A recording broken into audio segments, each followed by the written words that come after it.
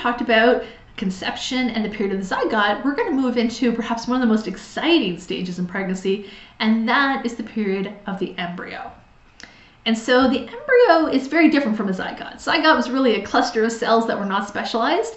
In the stage of the embryo, we see a lot of specialization happening, and we see a lot of the support structures coming online. For instance, we know that there is this thing known as the placenta. The placenta is the organ that attaches to the uterine wall and communicates with the parent. Placenta is essential. It's where the nutrients come from. And so the, the placenta absorbs the nutrients and brings the nutrients to the offspring via the umbilical cord. And so that's really important, but it also takes away waste products. Important to understand the offspring is not defecating or having a bowel movement in the womb, and instead, waste products are being removed via the umbilical cord and then being taken away through the placenta. The placenta also plays a very important role in filtering out potentially dangerous uh, chemicals. So, because of that, we can find things like traces of arsenic in the placenta, or mercury, or lead. It's going to be very small amounts, and the placenta cannot filter out everything, but just like our kidneys or our livers, it is a filter. Now, the placenta, the umbilical cord, and the embryo are in a larger structure known as the amniotic sac. So the amniotic sac I've sort of drawn here as a bit of a big blue bubble. This is this watery, cushiony sac that allows the embryo to sort of float.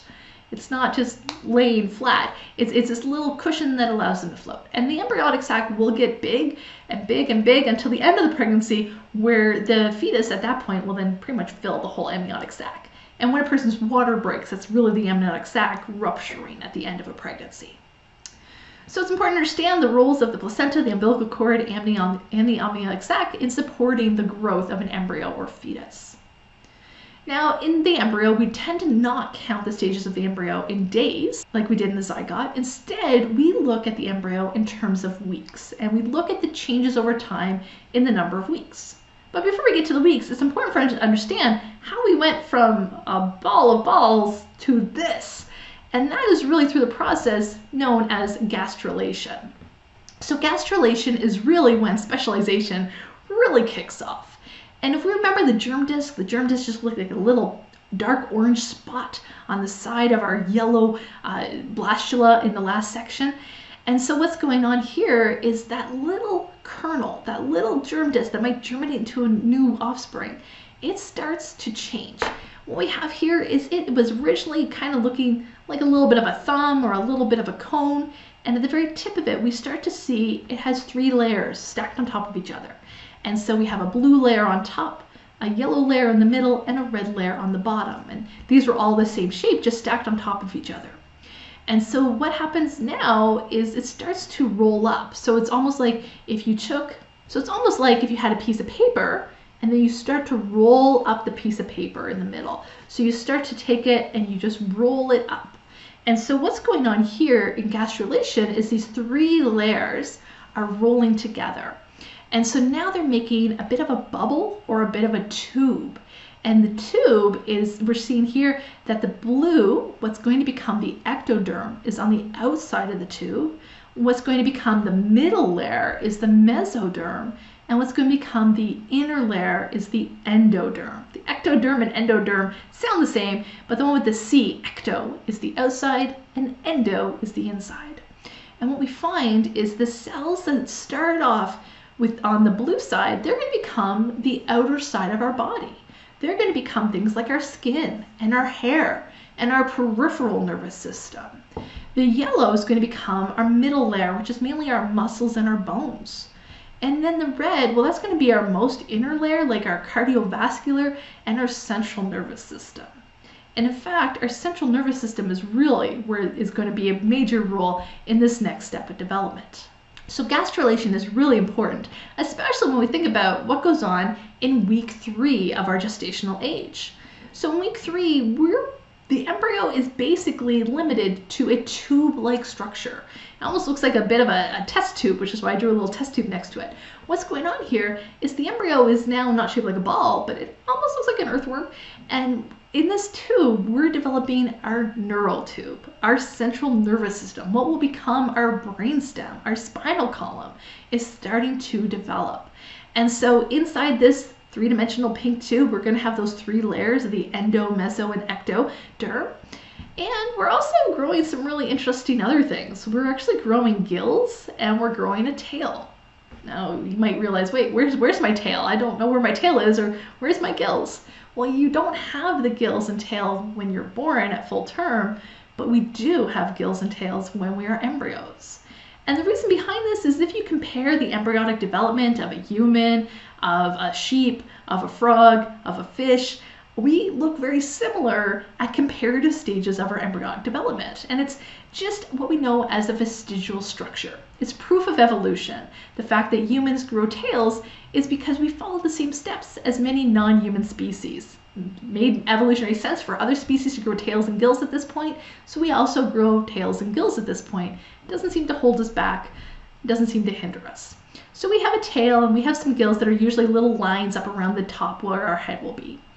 And in terms of the size, the size at this point in time of the embryo tends to be roughly the size of one sesame seed. As we move into week four, we see some drastic differences, lots of intense specialization going on. In fact, in the past week, we've now gotten a new start of a very special organ known as our eye.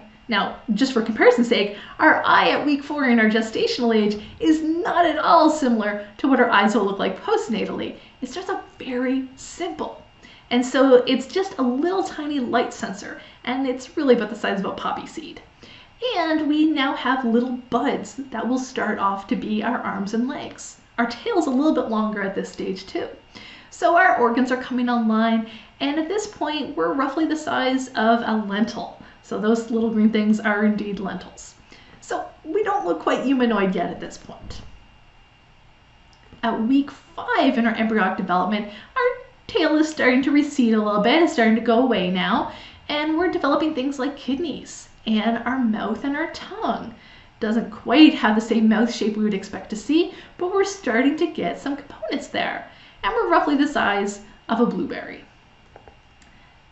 Then at week six in our embryonic development, we can see now our brain grew quite a bit. We have way more structure in our skull area. And we're also starting to get eyelids. So our eyes are starting to change shape. They're becoming much more shaped like how we would expect. We're also getting little buds that would originally start off to being at the start of our nose and the start of our lips.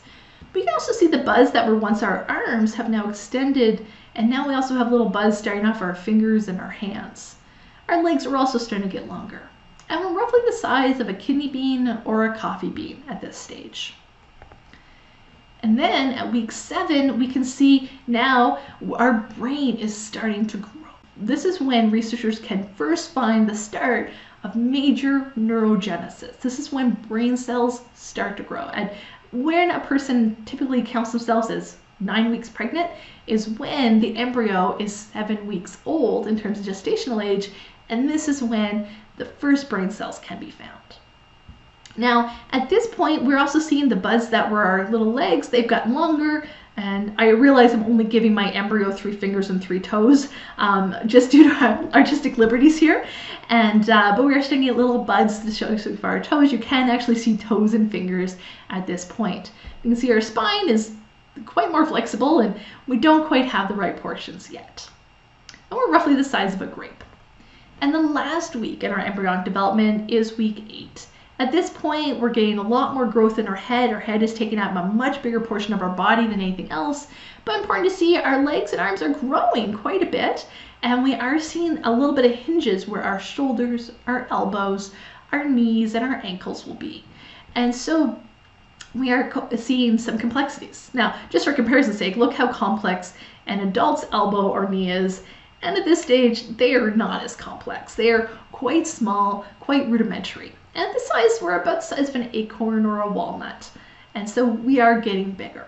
Now, it's important to understand here that if there is any genetic atypicalities that may lead to very drastic development where an individual's body may not develop in a way that'll sustain life, this is when a miscarriage will happen. The reason why miscarriages tend to happen most often in the embryonic stage is because if somebody has the wrong number of chromosomes or an allele that's drastically going to change their body, where perhaps an essential organ will not develop properly, this is when the embryo no longer becomes viable for life and where a miscarriage would happen. it's important to stress that most miscarriages are not due to anything the parent did.